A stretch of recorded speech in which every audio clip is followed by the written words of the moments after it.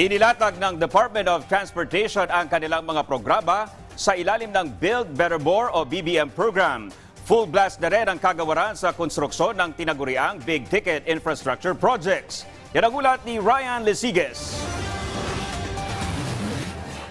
Sa nakalipas na State of the Nation address ni Pangulong Ferdinand Marcos Jr. kabilang ang Build Better More program ng DOTR sa highlight ng kanyang ulat sa bayan at ngayong nalalapit na ang sona ng Pangulo, nasaan na nga ba ang DOTR sa Build Better More program kung saan sabi ng Pangulo 83% dito ay pagpapatayo ng kalsada, tulay, seaports, airports at mass transport.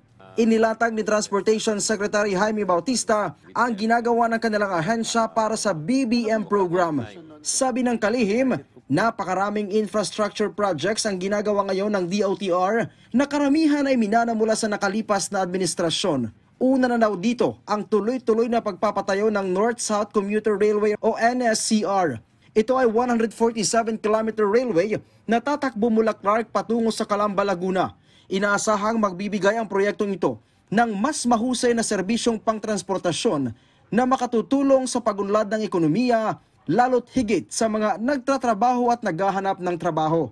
Yun ay uh, ongoing ang construction, no? Ang uh, ating contractor doon ay uh, isang uh, Spanish group, no? And uh, we're working closely with them, no? So far, uh, Kailan po yung target on completion nun, sir? Ah, ang target completion nitong ating uh, North-South Commuter Railway no ay uh, by 2029 no. 2029. Although uh, we're expecting that we will have partial operations by 2027. Bukod dito, ay tuloy-tuloy din daw ang konstruksyon ng kauna-unahang subway sa Pilipinas, ang Metro Manila Subway Project. Ito naman ay 33 kilometrong underground railway system na magsisimula sa Valenzuela. Meron itong state-of-the-art train sets na kayang magsakay ng mahigit 2,000 pasahero kada train.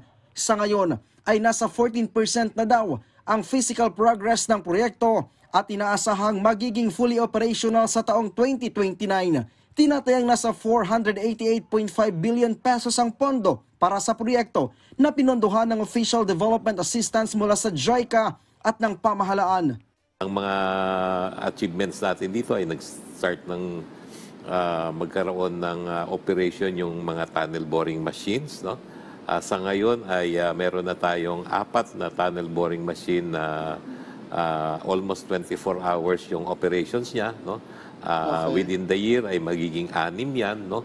And ah, sa mga susunod na taon ay ah, magkakaroon ng up to almost 19 ah, tunnel boring machines. No?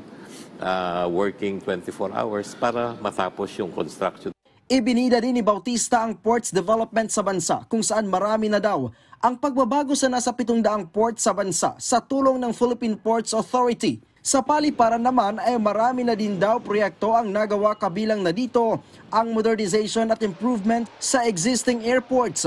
At isa sa malaking proyekto na inaasahang mangyayari ngayong taon ay ang modernisasyon ng Manila International Airport. Dapat matapos kaagad para naman maging komportable ang uh, experience ng ating mga pasahero ay ang modernisasyon ng Manila International Airport. No?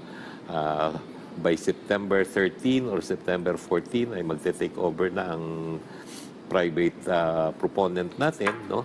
And uh, sila ay mag invest ng almost 3 billion dollars no? para ma-improve yung ating existing uh, facilities sa Manila International Airport, no? Ma-increase yung capacity from uh, 32 million up to 62 million, no? So napakalaking uh, improvement nito. Nakatutok din ngayon ang DOTR sa PUV Modernization Program o PUVMP. Sa ngayon, tapos na ang consolidation at nagpapatuloy na ang route rationalization ng DOTR. Ryan Lisiges para sa Pambansang TV sa Bagong Pilipinas.